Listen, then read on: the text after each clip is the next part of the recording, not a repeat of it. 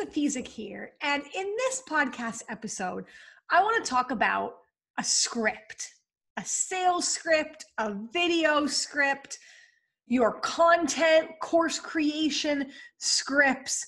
Do you just wing it or do you go by a script is the never ending question. And I'm going to tell you my take on it, the do's and don'ts, the pros and cons of it, and why I think it's necessary that we meet somewhere in the middle. So I don't think we should be winging it. And I also don't think we should be so tied and stuck to our script that we can't be ourselves and we can't talk about things that come up if something of value happens to come to you when you're doing your thing that you don't feel like you can put it in there and you can say it. You got to have that flexibility because people know when something is pre scripted because it lacks the personality. It lacks you. And that's not what makes people know, like, and trust you and want to buy from you. So, as a content expert, I believe that that happy medium is somewhere in the middle. But how do we get there? It does start with a script. And I can remember three years ago when I was first learning about funnels and email automation and just getting going with my online business in health and fitness at the time. And I wasn't afraid to go on video, having taught group fitness classes, being a personal trainer, being in front of people. I wasn't afraid of that. But I was afraid that I was going to forget what I wanted to say next. And the mentor that I was studying under, we were at a retreat, and there were probably about 20 of us, and we got to write our scripts and we got to rehearse them. And then what they did is they teleprompted it. So they had a live videographer there. They had the iPad with a teleprompter app on it. And the very first time I ever had to do video, I had to read from a teleprompter. And let me tell you, when I got back home, because this was in California, I'm here in Canada, and the videos were sent to me, my first thought was, oh my God, I can't use it. And that was an entire day at this retreat. That was all that we did was shot our sales videos and our thank you videos. And I looked at both those videos and I was just like, no, I can't. And I can remember when I was delivering it, I can remember feeling anxious and nervous because I was trying to be me and trying to be authentic and trying to read and keep up with that teleprompter. And I was trying to give it my best personality. And there were things that I wanted to say outside of the teleprompter. But if I added a word or two, then it got me off the timing. And it was just, it was a mess. And when you look at the video, it didn't look like a mess. The average user that saw it, I could have used it, I could have thrown it into my sequences, but deep down inside, I knew that it wasn't my best. Now, it was better than winging it, but I knew that it just it didn't accurately depict me and my personality and just the way that I say things. And when we're talking about the ABCs of whether you should use a script or not. The first one is A, authenticity. When you're talking to people, whether you're pitching something, you're teaching something, somebody's watching something on social media with you, you have to be yourself.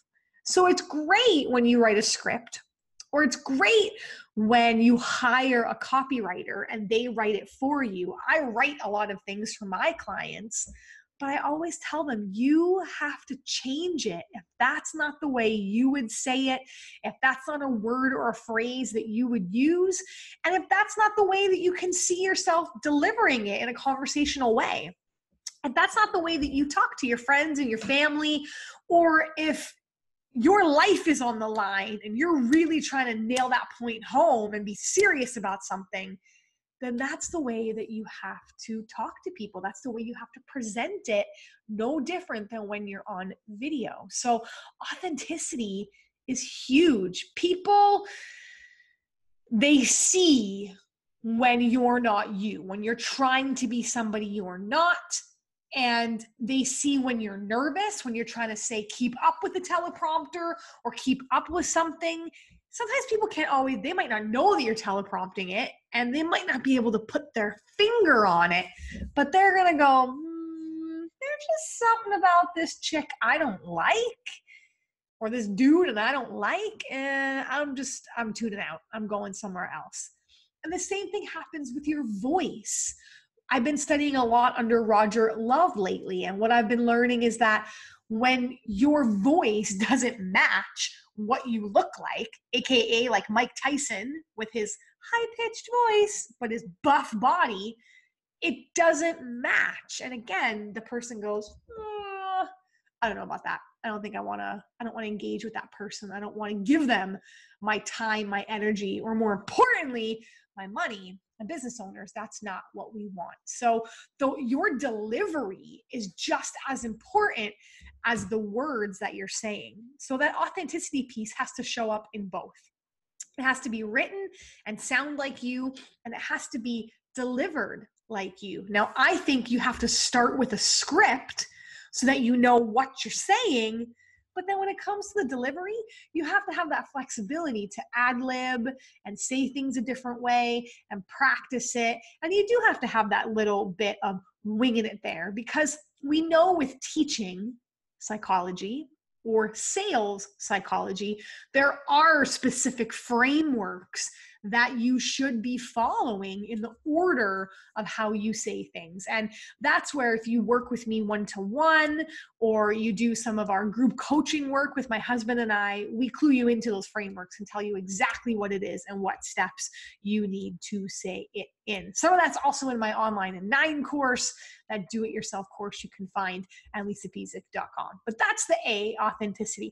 The B is you have to be prepared, meaning that the day that you go and you shoot, you shoot those videos, sales video, course video, whatever video you're shooting, you have to practice your stories, your teaching. You've got to practice to see how it all fits. So, again, I like to think of your script as building blocks or puzzle pieces. And you've got a few stories that you've practiced and you've scripted. And you've got a few teachings that you know when you're trying to teach somebody something these are the three steps for this or these are the five steps for this or these are the four parts of this that when it comes time to deliver whether it's a speech or a video or whatever it is that you're creating that script and you're pulling from multiple pieces of things.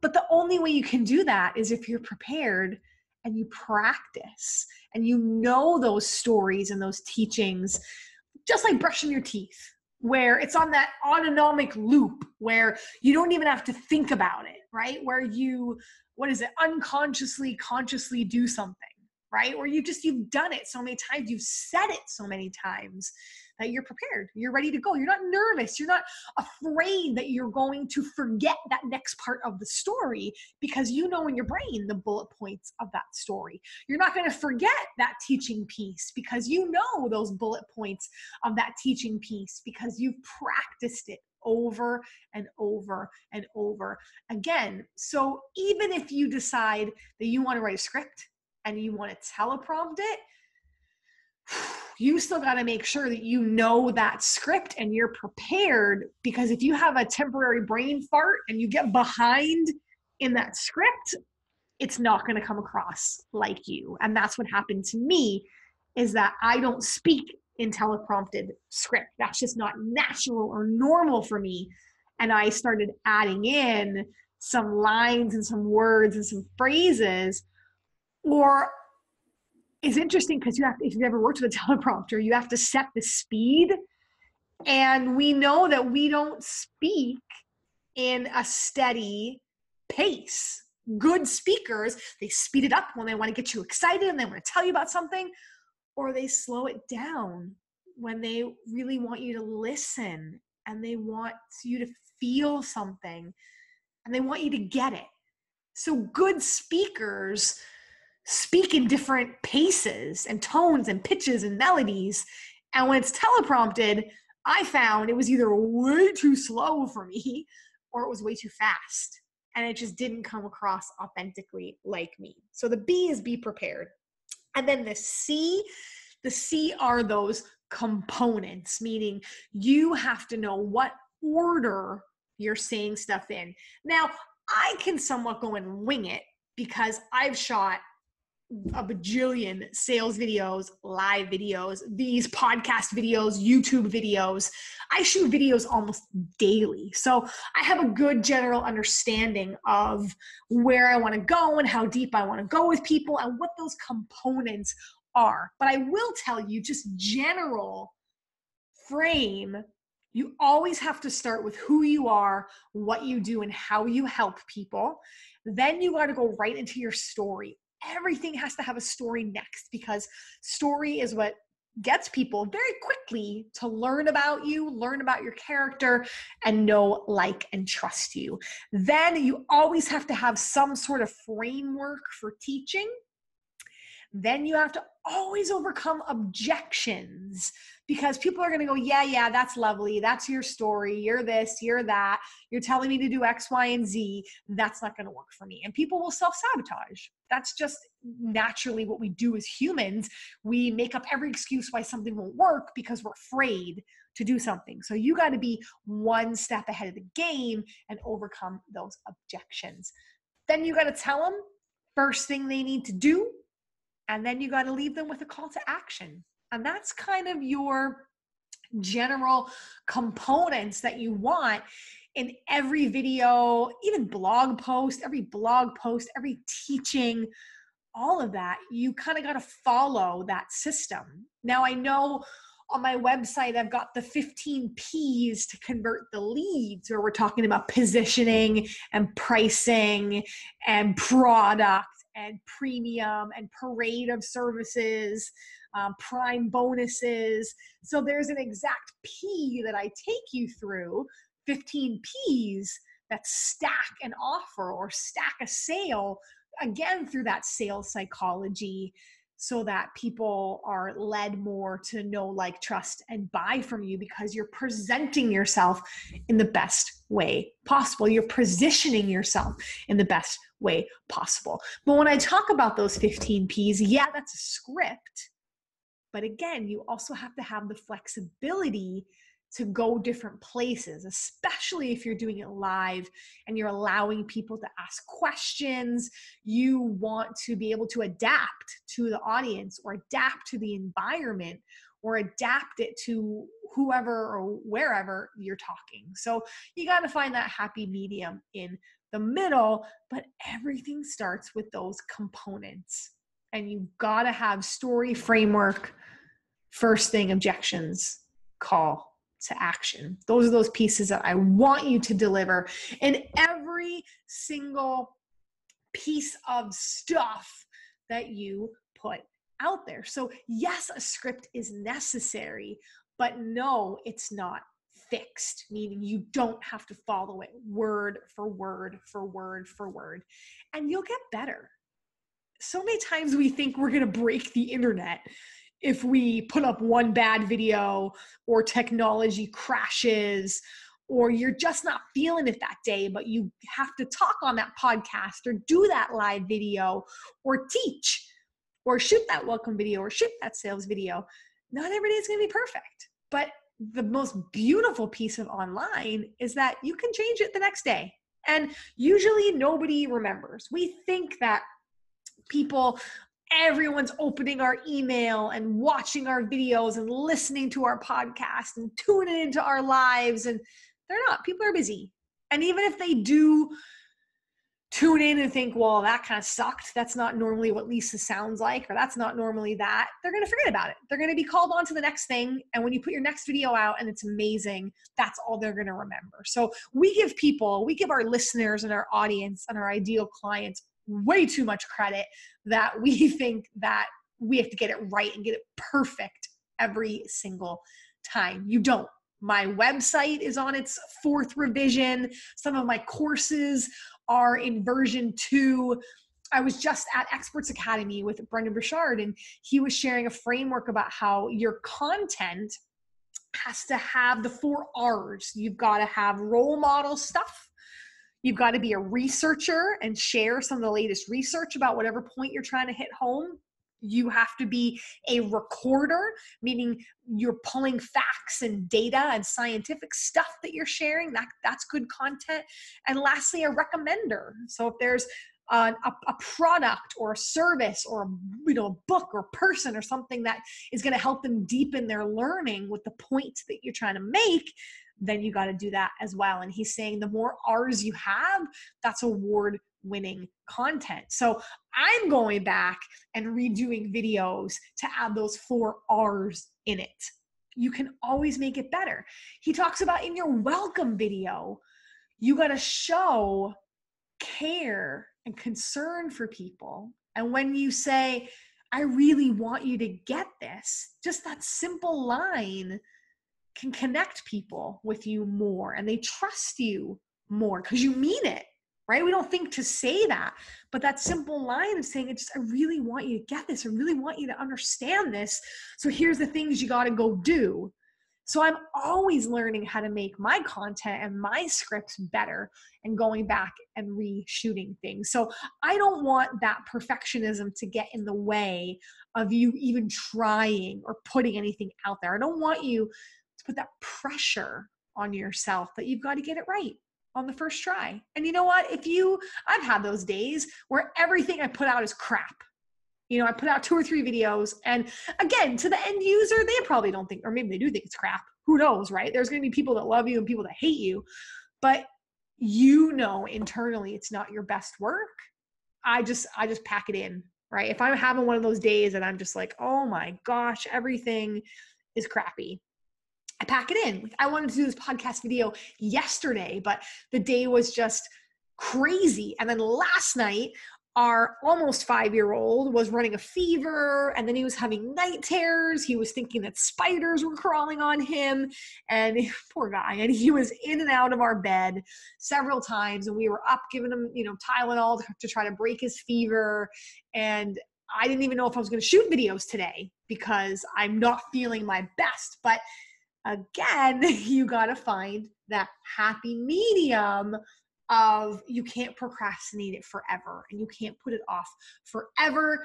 And this is just one of many podcasts. You got to think of your content in the same way. It's just one of many videos because you're always going to go back and do what you know how to do. I love podcasting. I love going live. I love teaching. I love sh- actually I'm a nerd and I love shooting sales videos. I think it's fun shooting those because you're offering your best self to people and saying here I am I can help you and the right person will take you up on the offer. So uh, this is something that I'll do for the rest of my life. And when you're in it for the long haul and you think about it that way, ain't no thing if you have one or two bad days off because you've got however many bajillion days left, God willing, up above, that you've got this gift that you're well and able and here to be able to do that. So you got to get your stuff together. You got to find that happy medium. A script, you got to start with a script, but know that it's in the end, it's not fixed. You got to be authentic, you got to be prepared, and you got to know those prime components, the A, B, and C, to all of your scripts and all of your delivery. That's just going to make you a better teacher and a better mentor. And that's what I want for you. So, if you need some more help with that, lisapezik.com at the bottom of every page, it says schedule a 15 minute free discovery call. I would love to get on, walk you through these ABCs, and help you create some good stuff online because I feel like my purpose in life is to help you bring about your purpose. And Eric and I decided, my hubby and I, that in 2019, our motto is help people, help people, help people. And that's what it's all about that ripple effect. So I'd love to be able to help you get your voice out there in a way that showcases you and your personality and who you are because I think that authenticity piece and that integrity piece and that leadership piece is what the world really needs now. So 15 minute discovery call at the bottom of www.lisapezik.com. I'll see you over there and I'll see you next time on the Lisa Pezik Show.